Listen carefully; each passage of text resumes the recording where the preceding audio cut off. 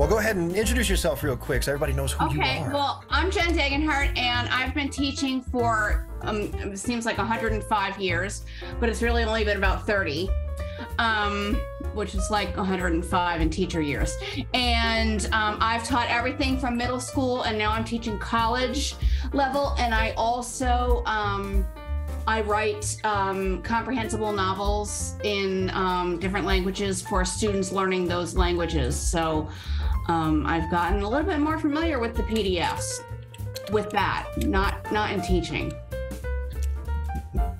Yet, yet, yet. Now, Jen, I know you were you're newer to PDFs. Like uh, you you'd used them before, but but never really to like this extent. This is this is new for you. It's new, and I'm I'm not a wholly um I'm not you know a whole convert yet, but um I have used them.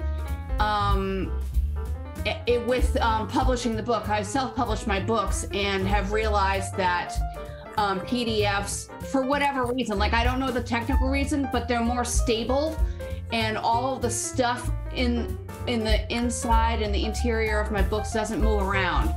Um, so I like that. I don't know. It, listen, I couldn't give you the technological reason behind it. I'm sure the Fox can. Um, but that's what I like about it. And so it's stable. I only have to do it once, and I'm good to go.